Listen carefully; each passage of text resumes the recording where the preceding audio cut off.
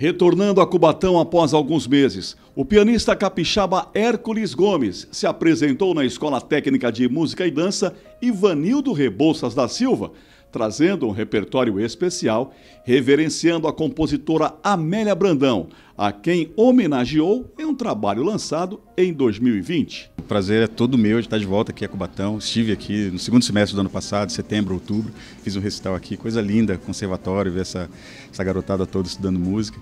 E hoje é um show de um disco que eu gravei em homenagem a uma grande pianista, que foi a Amélia Brandão Neri, mais conhecida como Tia Amélia, né? Ficou muito conhecida aí a partir da década de 50, porque teve vários programas de televisão. Ela compunha choros, tocava choro como ninguém. E por isso que hoje a gente veio com uma formação aqui de piano com regional de choro, com cavaquinho, violão sete cordas, pandeiro e percussão. Então é esse repertório que a gente vai ouvir hoje. Dona de um estilo diferenciado, Tia Amélia, como era chamada, inspirou Hércules a trazer nesse espetáculo composições recheadas de swing e balanço, repercutindo positivamente na crítica especializada e no público, por recuperar a história de uma figura notável no cenário musical do país. Esse trabalho, como foi um trabalho de resgate, é, é muito gratificante assim ver o, o reconhecimento. Né? Desde o primeiro show que a gente fez em 2020 de lançamento, depois tivemos que parar por causa da pandemia, né? E aí a gente voltou a fazer os shows agora em 2022 e em 2023 a gente continua fazendo essa série de shows. Esse, inclusive, é o terceiro de uma série de seis shows patrocinados pelo PROAC, né? Programa de Ação Cultural do Estado de São Paulo. E é, é muito gratificante ver essa aceitação de público e crítica. É um repertório que é muito brasileiro, né? Então as pessoas automaticamente se identificam, né? Como é um trabalho de resgate, então acaba sendo uma coisa meio que acima de qualquer suspeita, né? E é muito brasileiro, né? Eu acho que a, a explicação tá, tá, tá aí, tá na música dela. Né? Com passagens por diversas orquestras do Brasil e do exterior, o principal protagonista da obra, Tia Amélia para Sempre, que dá nome ao espetáculo, fez questão de enaltecer o trabalho do Conservatório de Cubatão, como é conhecida a Escola Técnica de Música e Dança, deixando ao final uma mensagem especial. É o único conservatório público né, da, da região, o mais próximo está em São Paulo, né, que é, é, a IMESP. Então muitos amigos meus passaram por aqui, muitos grandes músicos, inclusive, passaram por aqui, né, se formaram aqui. Então isso aqui eu acho que é um, um celeiro de, de, de, formação de grandes músicos, né, uma coisa muito, muito importante. Sem contar que toda vez que eu venho para cá, eu sou muito bem recebido.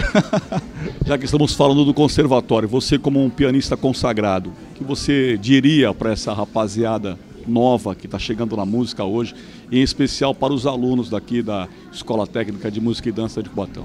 Eu diria, acreditem, sonhem, porque é isso que move o artista. A plateia, composta por cerca de 200 pessoas, acompanhou cada detalhe da apresentação. E ao final, só elogios.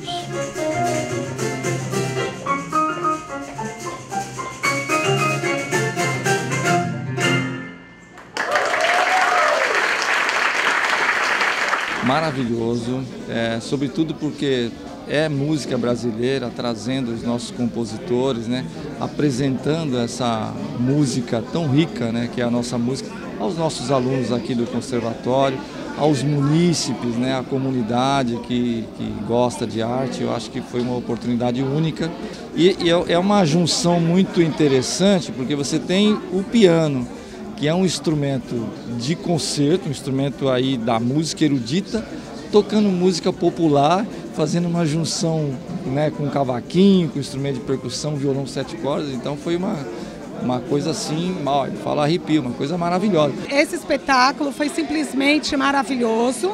É uma oportunidade é, muito rica né, de conhecimento de formação para todos os alunos do, da Escola Técnica de Música e Dança e para a população de modo geral. Né? Foi um convite aberto, então quem não veio perdeu essa oportunidade.